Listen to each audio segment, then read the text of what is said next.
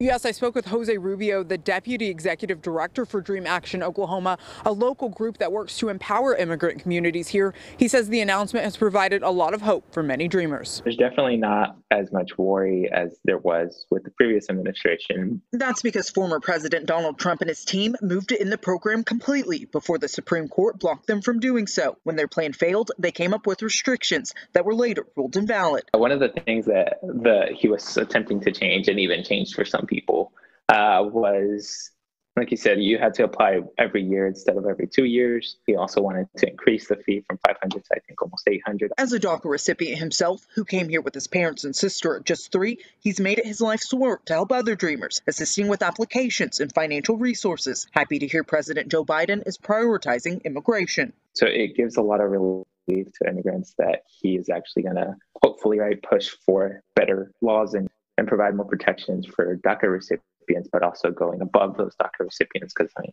the last estimate I think was like there was like 600 to 700,000 DACA recipients, but over 11 million undocumented uh, people living in the United States. Seeing firsthand what deportation has done to several local families, he's optimistic Biden's planned executive action will lead to less worry. It destroys families. It takes away parents from their kids. Portia Riley, KOCO 5 News.